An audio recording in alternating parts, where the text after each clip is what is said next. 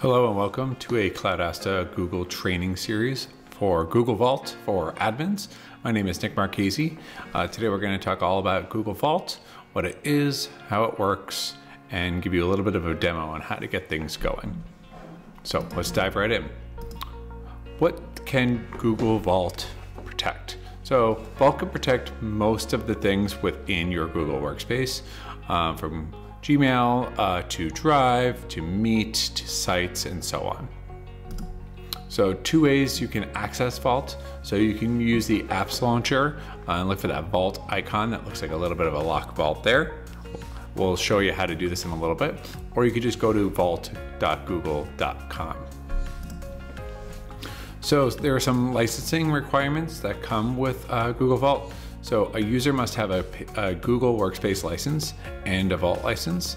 Vault licenses are included in uh, select SKUs. Uh, you see a couple that are listed there, um, and it could also be an add-on for other SKUs. So check what uh, license you have and what SKU you have to see if you have a Vault for your domain. If Vault is included in your edition, all the users in your organization are automatically assigned a license. If it's an add-on, you can buy Vault licenses for some or all of your users. Uh, only users with the licenses are covered by Vault. If they do not have a license, they are not covered by Vault. Um, and if you delete a user or a license, their data, data may be purged and no longer available in Vault. So just be careful when deleting users or removing licenses. All right, uh, information governance. So you, the big purpose of Vault is that you can help retain and delete the data that needs to be retained and deleted. So keeping data for as long as you need it. Um, you probably have a organization um, retention policy of how long you need to be preserving data for. Um, so the data will remain in Vault available uh, even if a user deletes it and empties their trash. That's the beauty of Vault um, and also you being able to delete sensitive data after a certain set of time. Um, so that way there is not data that you is that's lingering around that you didn't want to stay there for too long. This is all configurable within Google Vault. So the Vault retention rules are really important because um, they directly apply to all of the apps within the supported Google services. Um, Vault is not a data archive. Once those retention rules expire, that data will be purged. Um, we need to be careful of that because you, the, that data can't be recovered by a user or an admin. Vault doesn't retain data until you set up those retention rules. So if you haven't set those up yet, they're not happening. Um, until you do, users can still delete and purge data. So two types of retention rules. There's the default retention rules, which apply to all licensed accounts in your organization. Those are the ones we'll focus on at first. And then there are also custom retention rules you could set up for a certain uh, area of time, for a certain OU, um, depending on what you want to go ahead and make sure that you're customizing with when it comes to preserving your data. So if you want to go ahead and set something up specifically for uh, a certain OU or group within Gmail or Drive, you could do that here. With Vault, authorized users can search for data, put a hold on data, and export data. Uh, Vault supports the first steps of the e-discovery process outlined by the electronic discovery reference model, identification, preservation, and collection. Now let's walk through that. Identification. You could search for your, your organization's workspace data by user, organizational unit, date, keyword, and you could preview messages, attachments, and so on preserve data indefinitely for legal or other retention obligations, you can put a hold on accounts, organizational units, so on and so forth. Uh, if a workspace admin deletes a user's account, the user's data is no longer available in Vault and cannot be restored. If you want to put a hold or retain a user's data, the user must both have a Google Workspace and Vault license. So you need to make sure that if you want to retain data on a user's account, that that account does not get deleted. So here's some data that is protected by a hold. I will pause here. I'll let you read through that for anything that might stand out. You notice it's ranging from Gmail all the way to Google Voice, and there's a couple things there in between. Okay, and then collection. After you search for your data and find what you need, you can export it for processing and analysis. Uh, this is a copy of all the data that matches your search, some metadata that might go along with it, and so on and so forth. Um, a data export is available in Vault for 15 days, and then the export is deleted to protect that data. So if you are uh, exporting some data, it's recommended that you get that out of there uh, sooner than later so you don't forget about it. You can control who can access Vault and what actions are available to them. This ensures that only authorized users have access to the organization's data.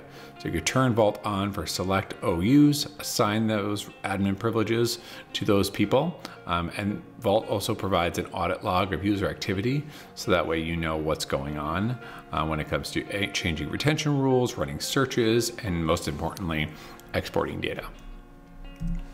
Okay, so we're gonna demo a little bit here. So we're gonna talk about how to get to uh, Vault via the uh, icon, the app launcher, and vault.google.com. We'll talk about different retention rules, default, custom, and some settings. We'll talk about some matters for finding things. And then we'll talk about the audit log. Okay, let's jump over. So if we wanted to go from My Drive and use the app launcher, we could just go to the top right here, to Google Apps. We could scroll on down and look for our Vault icon here. Also, I could just go to a new tab and type vault.google.com. And it brings me to this page that looks like this. We're gonna go from the top down. So if we go to retention, these are those retention rules we were talking about. So I have these retention rules on right now, um, and you can see for all of these different services, they're on as indefinitely, and there is no expiration. So if we wanted to change those, I can go into one of these, and I could change it from indefinitely. It might have been set to off, and you could set up a retention period. You could say how many days, whether that's 180 days, uh, 365 days, whatever makes sense to you.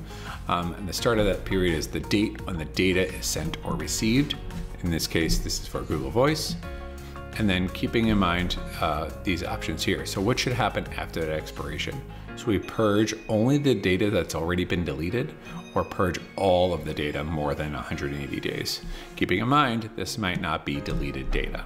So let's use another example here. If I go to Gmail and I change this to a retention period instead of indefinitely. Notice these actions after expiration.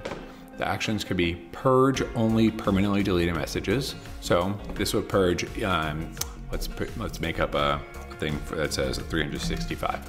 So any uh, messages that have been permanently deleted by a user that are more than a year old will be purged. Now, if we, you were to check the second box, it says purge messages from Gmail mailboxes and permanently deleted messages. This rule purges drafts. So this would mean that any emails, even if it's in the user's inbox, would be purged after a year. That's, that be really, really careful if you check that box that you actually mean to be checking that box. All right, so here are those default rules. Those are gonna apply to everything. Let's talk about our custom rules. Custom rules here, let's go ahead and create a new one. So first thing I do is I could choose a service. Let's go to Drive. I'm gonna hit continue. I could choose a certain organizational unit. Uh, I'm gonna go ahead and pick next special OU. I'm gonna hit continue.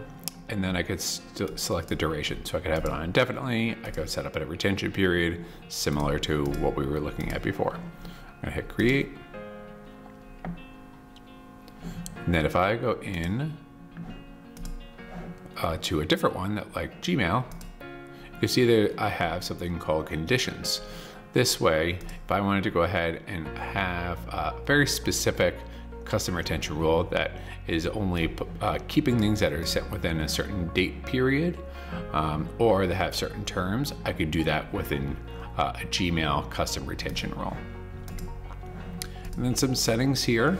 Uh, for Google Meet and Sites, um, do you want to have uh, these uh, retention rules based off of the Meet rules or the Drive rules? Similar to Google Sites, do you want to have the uh, retention rules based off of the Sites rules or Drive rules? You might want those to all be the same and it'll be uh, a little bit easier for redundancy purposes to have them as the Drive rules, but you might want them to be different. Okay, let's go on to matters and start searching.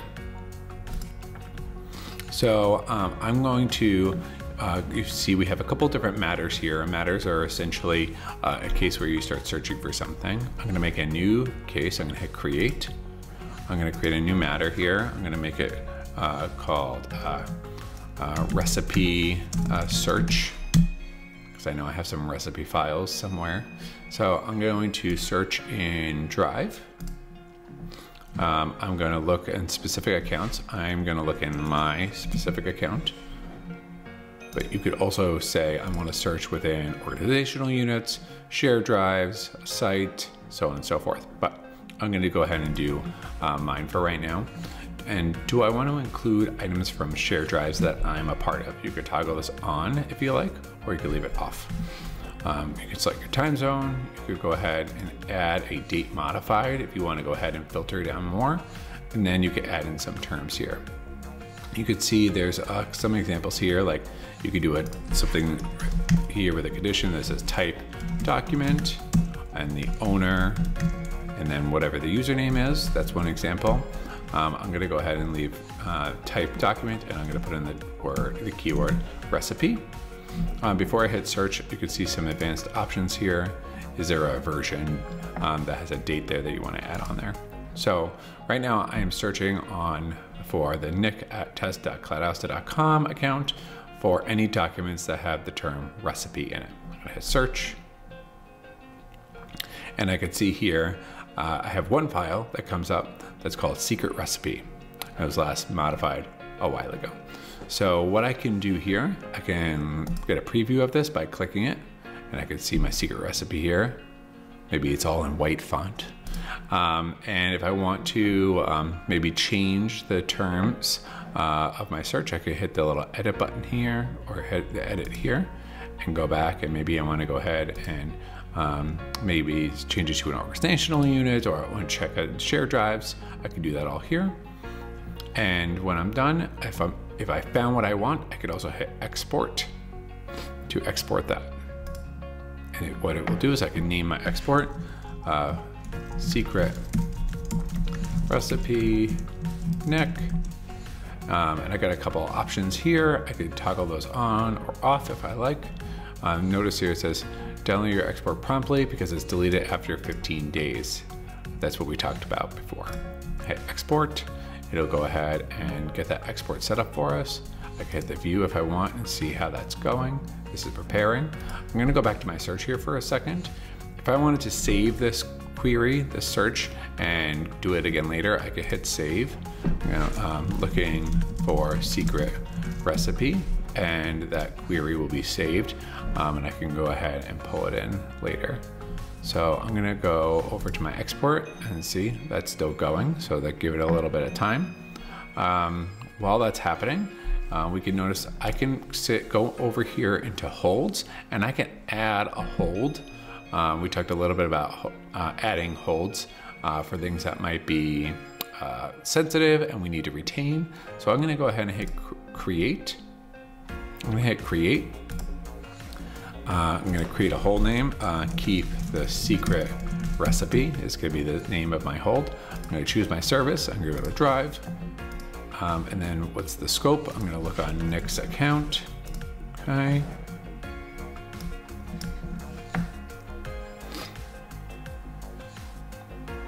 Okay, now uh, anything uh, on that account is going to be uh, held and retained. So you can see here now my export is all set. I can hit download or I can delete it when I'm done. Um, and I can also go to audit and I can get an audit of all of the activity that I just did um, by uh, toggling on if I want to see if I, what my searches were, what my exports were, so on and so forth, um, and hitting download CSV and I can see all of those details there. All right, let's go back to matters. All right, we could see some stuff here. This is where we got started. Let's go into our recipe search one more time. Uh, I also want to set up a, another hold within email. Uh, I'll show you some more details, kind of like our customer retention rules. So if I go into create, um, I'm going to keep uh, keep secret emails. Uh, I'm going to choose my service. And what I could do now is I get that conditions field that shows up. I'm to hit continue. I'm going to look for my test account. And now I'm going to add in uh, to keep any emails that have the term recipe in it. So, uh, and hit create. So what this is doing is it's setting up another hold just for the nick at uh, test.cloudasta account. Um, and any emails that have the term recipe in it will be retained. Maybe you have some other emails that you want to go ahead and make sure are retained in there.